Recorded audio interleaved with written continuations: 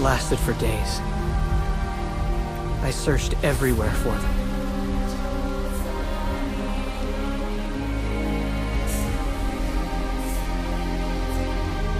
I was their older brother.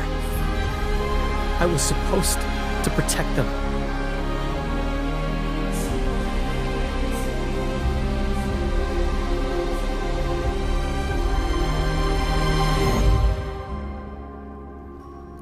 Even now, it's hard to forgive myself. Taro, the children know how much you care for them. What happened in the village wasn't your fault.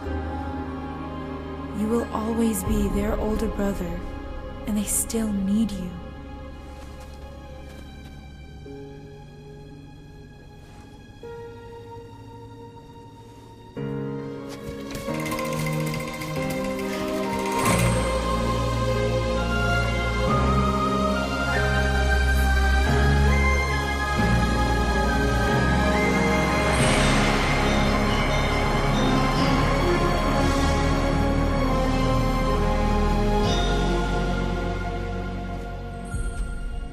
I'm sorry, Kena.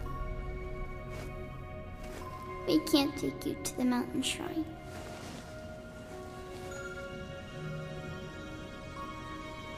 It's okay.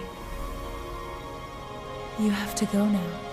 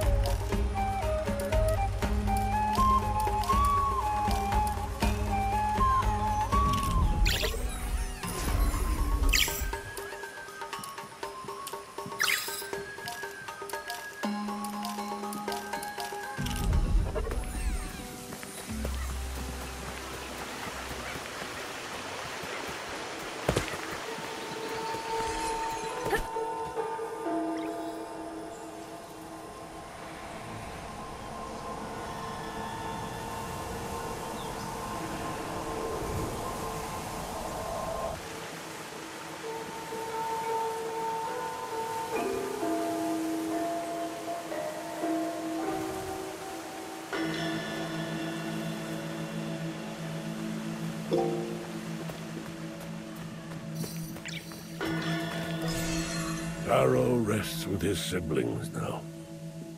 I imagine the corruption in the forest has cleared as well.